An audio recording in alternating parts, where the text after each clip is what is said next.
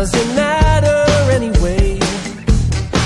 We can pick up where we left off. Girl, it's not too late. Let's just give it one more try.